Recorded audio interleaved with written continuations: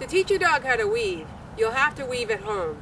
The few minutes we have in class will not be enough to have your dog weave well. The quickest and easiest way to get started is with stick in the ground weave poles.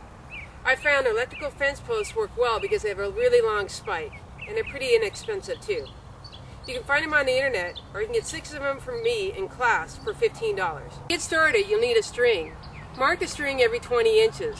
That's a good length to use because it falls within a distance within the different organizations. This is going to give you your center line. You need to nail it down so it'll be taut. It's good to have a long string for enough for 12 poles because eventually you'll be working up to 12 poles. For the first channel, I'm going to use my wide open hand to give me the distance as a guide. I'm going to put the spike right here when my thumb is, thumb is extended.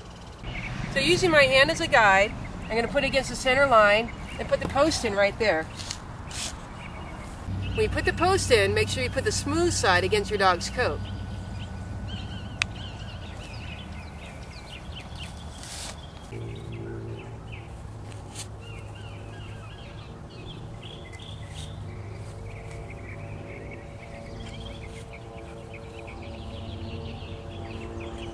Initially, when we set it up, the channel, we're going to have it very wide. This is about 10 inches.